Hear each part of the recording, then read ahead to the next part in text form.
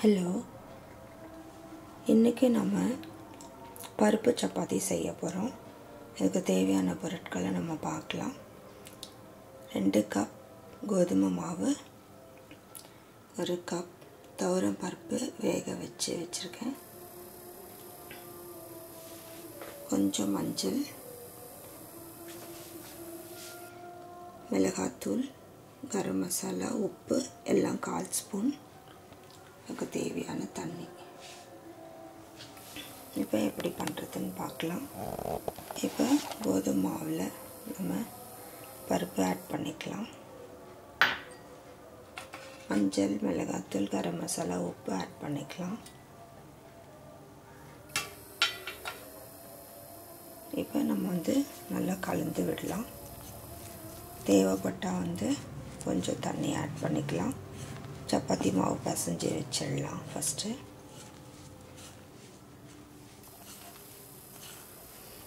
எப்பயுமே சப்பாத்தி பசையும் போது கொஞ்சம் கொஞ்சமாக வந்து தண்ணி ஆட் பண்ணணும்.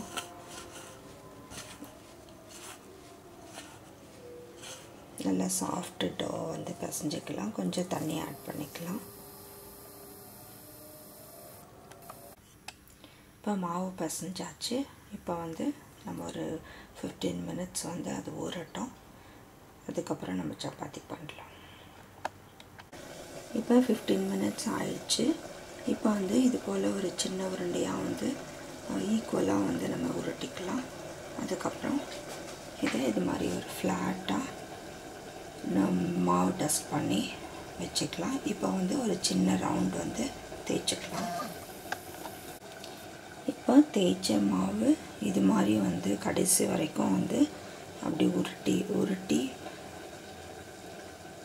ஒரு ரவுண்டாக வந்து நம்ம பண்ணிக்கலாம். இப்படி வந்து உருட்டி இது மாதிரி வந்து ரவுண்டாக வந்து வச்சு இதை வந்து நம்ம மாவில் டஸ்ட் பண்ணிக்கலாம்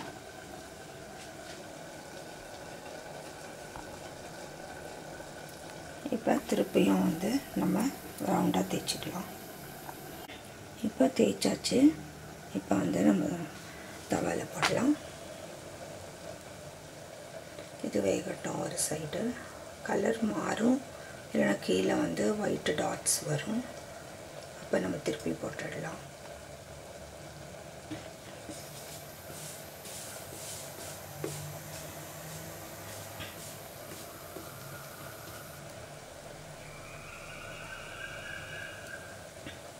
இதை பாருங்கள் கலர் மாறுது.